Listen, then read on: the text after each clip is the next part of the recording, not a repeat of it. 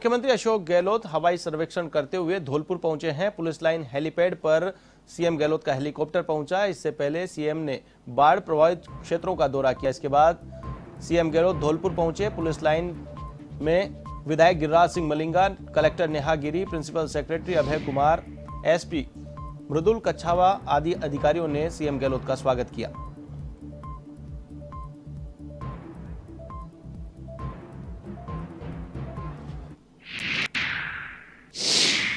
अभी हम लोगों ने बात की है जिला प्रशासन के अधिकारियों से। और जो हमारे जयपुर से भी आए प्रभारी जो है सचिव सबसे बातचीत करी। और जो किनारे के गाँव हैं वो जो पूर्व में आए हैं उनको तकलीफ़ है। तो क्योंकि पहले उनको वार्निंग कर दी गई इसलिए लोग शिफ्ट भी हो गए।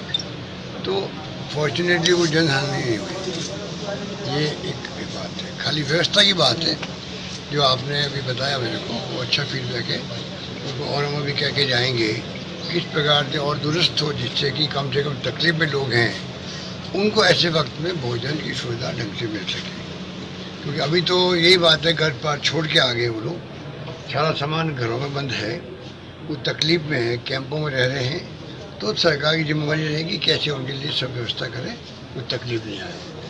बाकी किनारे गाँव जाके आए भी कोटा झालावाड़ बूंदी।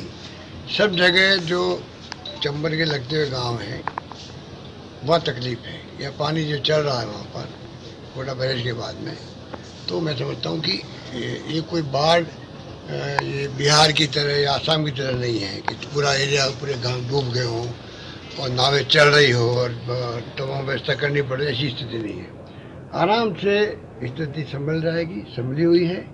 और अच्छी व्यवस्था करने का प्रयास किया जा रहा है। फ़सल भी चपेट में आ रही सर खरीद की इसमें वो उसमें आ जाएगी। जब सर्वे होगा तो फ़सल भी होगी और थोड़े बहुत तो मवेशी भी मरे होंगे उनकी व्यवस्था भी करेंगे कैसे उनको इलाज मिल सकती है फॉर्चुनेटली यहाँ पर कोई अभी ऐसी खबर नहीं आई कोई कोई राजस्थान में तो लोग चौपन लोग मारे गए हैं पूरे प्रदेश के अंदर। कोई बिजली से कोई दीवार गिरने से कोई बह गए लोग यहाँ ऐसी नौबत तो नहीं है